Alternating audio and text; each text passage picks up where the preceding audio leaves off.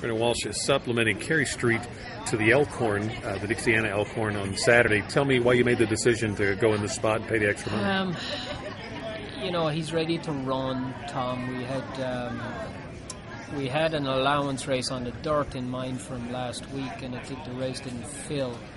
Um, kind of all as a stepping stone to you know some of the longer races as the year goes on. So he's he's ready to run. Um, and we basically had no other alternative. So we've been kind of think, toying with the idea for a while to maybe try him on the grass at some point. You know, it's a mile and a half race. There's nothing else for a little while, so we thought, you know, let's let's take a shot and uh, and see. The distance suit him anyway for sure. The grass, who knows? You know, his his mother, I believe, won a, a grade three in England um, on the turf. So you know, who knows? I mean horse never ceases to, uh, to amaze me. He uh, was so good at it at Santa Anita last year.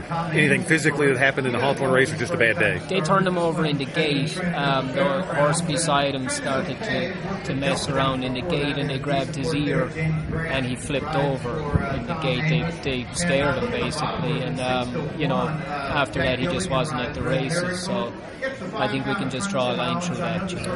As far as uh, coming off, off the layoff, you think he's, if he likes the surface, ready to run his best race? I, he's training super, as good as, as he's ever trained. Um, doing really well, doing really well. Been working good for him. He's never the best worker in the world anyway, but just his whole demeanour and everything, I'm, I could not be happier with him where he's at right now. The horse you ran in the Transylvania, uh, Saham, gave away a lot of experience to two horses that finished only slightly ahead of him. That had to be an encouraging performance. Yeah, a real good race. I think he'll move up a lot from it. I don't know that he was in love with the ground either today.